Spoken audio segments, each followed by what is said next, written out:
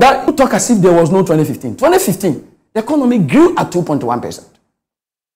At the first half of the year, this economy that they say is collapsed, when the economy is collapsed, and we look at it from the growth I mean, perspective, when the economy grows negatively for appreciable length of time, that's where we use such words. But when we have not even grown negatively, people say we are collapsed. Now, if you are calling this economy collapse, economy that at, at the first half quarter of the uh, year, it grew at 4.2%. Second quarter, it grew at 3.2%. And so averagely, that gives you about 3.75, isn't it? Yes, correct. But uh, 2015, the economy grew 2.1%. And so if you, you, you, you don't look at that as collapse, and you rather want to refer to the average economy growing at 3.75 as collapse economy, then I have a problem with you. You know, uh, 2015 there was no global crisis. There wasn't, and yet the economy grew at 2.1 percent. That's abysmal. Very, very I mean, abysmal.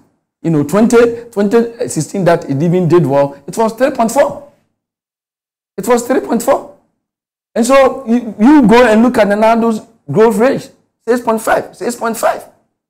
You know, uh, I, I, don't want, I don't give 2017 growth rate to Nana Addo.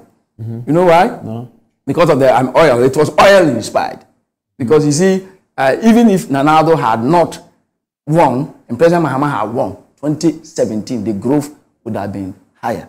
Okay. Because uh, yeah, we got we ended the growth rate with 3.4. Mm -hmm. You know, and so that anytime I'm, I'm talking about 2017, uh, the non-oil sector grew at 4.9%. Mm. So I, when I'm looking at Nana Addo in 2017, I look at non-oil sector.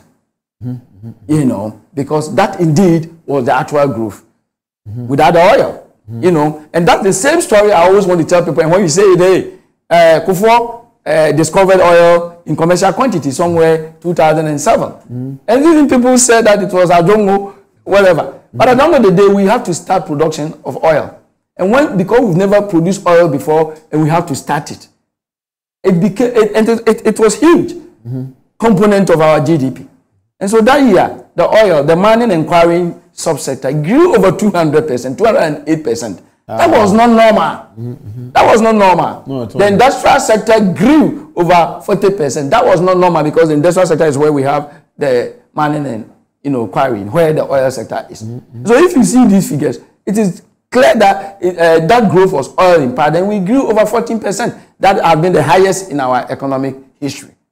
You know, and so the same way, I wouldn't say that it was because of any effort of that government that year, 2011, that's why we got that growth. I will also say the same thing that 2017 growth was oil inspired and it wasn't an adult growth.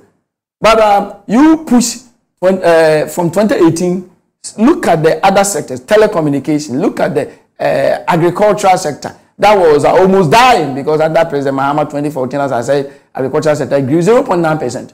Mm. We were going zero without our agric. You know, but that one... The uh, IMF figures put a negative. A negative uh, growth Yeah, some of, some, some, some for of... The, uh, for agricultural sector. Some of the... Yeah. Under President Mahama, under yeah. Fifi Yeah. yeah. And, and so we were not doing well at all. But uh, that one, you, do you, you don't blame him so much because Ghanaian, the agricultural sector is generally rain-fed. Mm -hmm. And so those years under President Mahama, maybe one of the reasons why he also didn't do very well, it didn't rain much. Like even today, today, it, it, it, it was, uh, I think, drizzling, if I should put it this way. Mm -hmm. So in December, we are still experiencing, you know, it's still raining. So under now it has rained so well. I wouldn't say he's the one who brought it. But under President Mahama, we were not seeing that much. And that even affected Akosombo. Akosombo nearly dried. And that's why we that's why we had the Dumso Dumso and all those things. You know, so agriculture sector nearly died. You know, a plantain sellers. We're going to Cote d'Ivoire to buy plantain to come and sell in Ghana. Mm. Maize, we were importing maize. Today, go to Techiman market and see. They, they, they, they, don't even have uh, food is in abundance everywhere you go. My village there, I go and see food. Everywhere there is food. But the problem is uh, the structure. Our public transport system is so bad, so weak. You know, and so it doesn't matter how much food you have somewhere there, ma.